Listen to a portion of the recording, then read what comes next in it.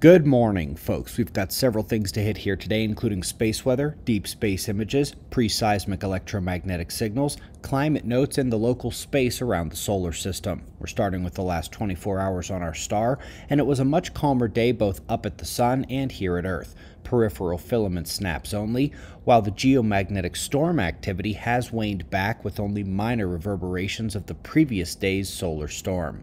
We're still expecting the coronal hole stream to impact today, the one that came out of the now departing dark patch on the south. Geomagnetic activity could have a bit of a resurgence when that enhanced stream arrives.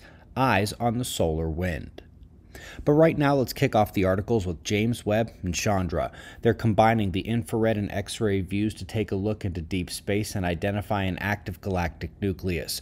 While there is the standard slate of black hole science delivered along with the article, the real aspect is that it is the furthest energetic galactic core ever confirmed.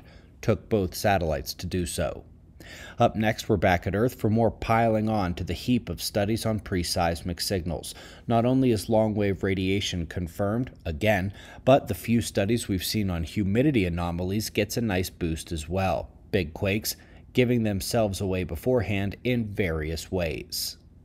Double dose of climate up next, starting with significant problems in the latest atmospheric circulation and weather model. Still can't get the system to spit out realistic information, which is a long standing failure they don't really like talking about.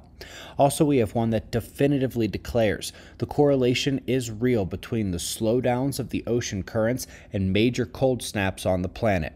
What are those currents doing now? Yes, that's right. Last but not least, folks, they are saying that a significant feature in the cosmic ray spectrum can be traced to shock waves just outside the solar system. They give several guesses as to what the source of those shocks might be, but you know what they don't mention? The galactic current sheet, which contains both exterior and interior shocks and which is surrounding our solar system now. Folks, later today we will be shutting down the pre orders for the new book. There are only a couple of them left in this first batch anyway, so if you wanted the simplified version of the Earth disaster cycle for the holidays, last shot here next couple hours.